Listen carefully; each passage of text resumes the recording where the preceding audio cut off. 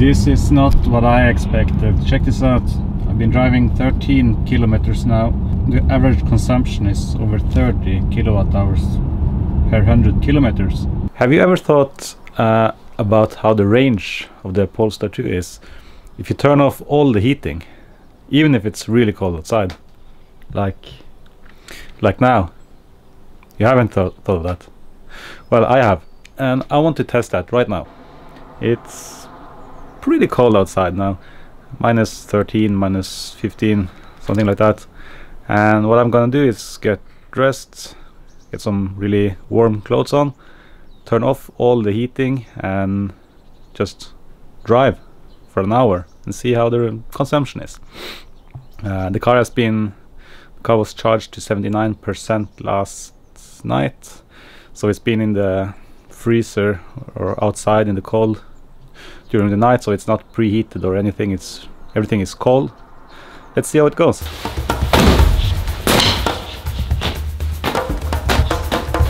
Okay, this is for science. I'm almost ready. Let's go.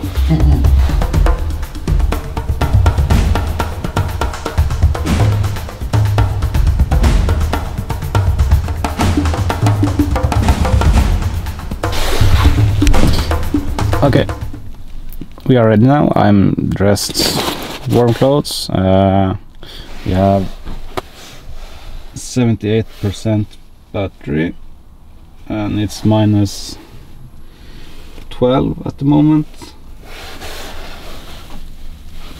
heating is off reset this one okay I have seat heating on one and the steering just for some comfort and I guess I have to have the window open to avoid fogging. So let's see how this goes. This is not what I expected. Check this out. I've been driving 13 kilometers now. Uh, the average consumption is over 30 kilowatt hours per 100 kilometers. Okay, we are halfway now and I was a bit surprised by the high consumption. Uh, seems like if you're driving without heat and the battery is cold, the car uses a lot of energy in, I don't know, heating up the battery. Let me show you here.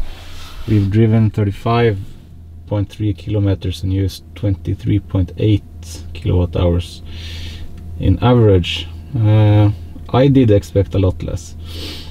Uh, the average speed is 63 and as you can see now here this grayed out area is going in that direction. Uh, as far as I've understood understood that means when the battery is cold and can't accept any charge from the regen it will be all the way to the right. Um, so it seems like the battery is slowly heating up but still high consumption. Um, so yeah. Let's just go back and see what the end result will be. Then we conclude from there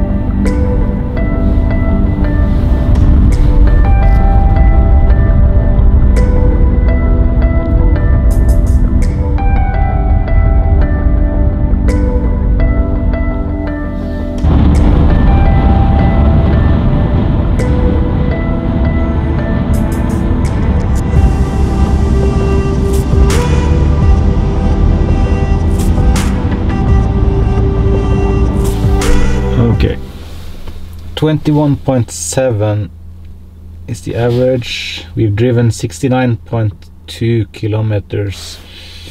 Um, average speed 61. I've been parked here for a minute, so it's going down. Um, let's see, 57, it was 58. The battery charge was 58 when I stopped here. And we started with 78, so 20% battery charge for 69.2 kilometers of range. Uh, what I noticed is that, uh, you check this out here, this field here was scrambled in the beginning when the battery was cold. And it gradually went down. And after about 50 kilometers of driving it was all gone that means that the battery is warm enough to uh, receive uh, regen charge and I also noticed that the average consumption was high 30 kilowatt hours per hundred for a long time. And just when the scrambled field disappeared and the battery was heated enough uh, the consumption started dropping and it dropped to like 21.6 when I parked now. So it seems like it's using a lot of energy when the battery is cold. Uh, it's as expected of course. Uh, cold bat we all know cold batteries are inefficient. And it's kind of strange that you cannot heat the battery before driving. Like when you preheat the cabin uh, when you when you put the car into preheating it just preheats the cabin. It doesn't heat the battery as far as I've understand understood. As far as I know. Uh, because you see that even if you preheat the car you see the scrambled area when you start driving. And uh, yeah. So just out of curiosity now that the battery is heated up and we ended up with 21.6 kilowatt hours per 100 kilometers for this trip uh, from kind of cold start. I wonder how the consumption will be with a heated battery as we have now. So what I'm going to do is just do the same trip again. Uh, just reset every every counter here and do the same trip again. And then let's see what we end up with uh, when we get back. Okay okay I just had to stop by my house and get some warm socks because it was starting to get pretty cold. So I learned a few things on this trip. And one is that driving without heat in the car in minus, uh, 13 minus 12 or whatever it's really cold. Uh, yeah so if you if you watched this video so this far and you enjoyed it please consider to hit like and subscribe and maybe comment below too uh, because I it would be really appreciated. It's really fun for me to to see. I really like it. So yeah. Okay let's go. Second second round uh, heated batteries. How is, how is the consumption? Let's see. Okay let's reset. We have 56% charge. Let's go driven 10 kilometers now and uh, on round two. And as you can see now we have average consumption so far is 16.9 17 kilowatt hours per hundred. Uh, on the first trip with the cold batteries the consumption was around 30 kilowatt hours per 100 kilometers. So it's quite a big difference okay we are now halfway on the second round uh, second trip. Um, let's check out really fast the results so far. Yeah there's a lot of here you can see we have 18.3 kilowatt hours per hundred. We have driven 35.3 kilometers average speed 65 uh, yeah we used 47% charge. Okay so let's just head back and uh, see how the end result will be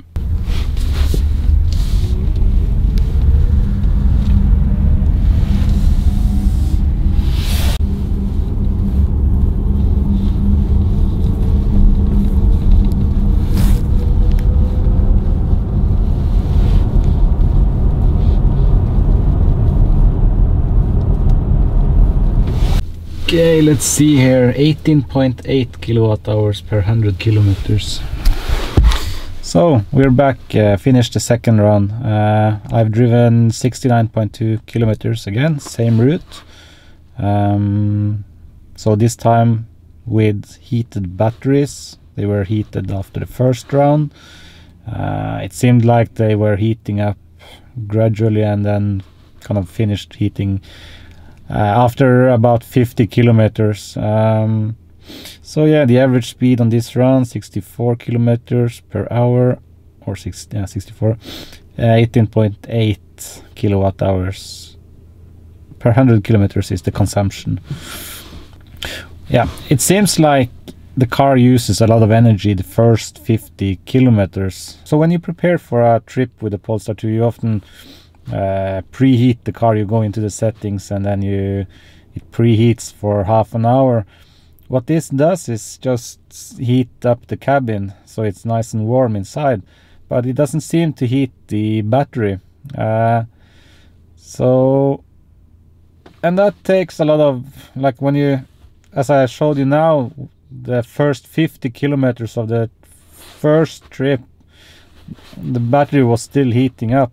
Uh, and that results in higher consumption. So it's kind of weird. I wish that Polestar had some like built-in battery heating. Uh, at least when you're plugged into the charger at home and you preheat the car, it should have preheated the battery as well.